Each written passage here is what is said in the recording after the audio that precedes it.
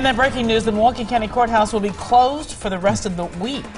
Crews need more time to clean up from that big electrical fire over the weekend. Annie Scholz is live with the latest on this breaking news. Annie?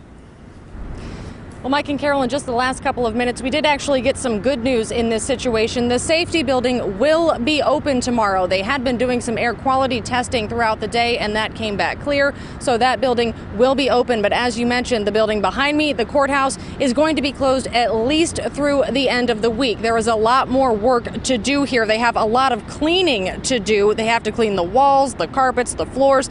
They have to get rid of the smoke remnants and make sure that the entire building is a safe environment for for folks to go through. Here is County Executive Chris Abele. Nothing's changed about the fact that we uh, uh, won't take any risks. Uh, as I said yesterday, there's parts of the building where if you went in and you didn't know anything had gone wrong, you would have no idea it wasn't perfectly safe. Uh, but we're not going to risk that, and uh, we're going to go through every square inch of a million square feet to be sure.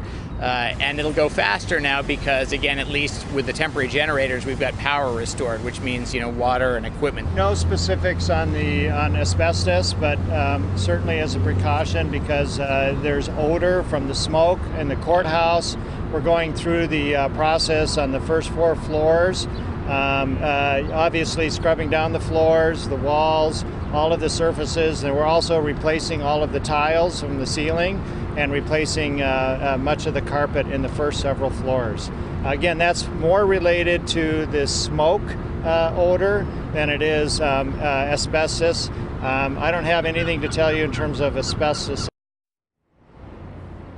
And uh, that is an awful lot of work, and now especially it's going to be taking that many more days to do it. The question is, of course, how much is this going to cost? County Executive Abele said, quote, no more than it has to and no less than it needs to. But of course, that's just financial cost. This is costing a lot of time. We're told that already thousands of cases have had to be rescheduled. Reporting live outside the Milwaukee County Courthouse, Annie Scholz, today's TMJ4. Well, at least the safety building will be open. Thank you very much, Annie. We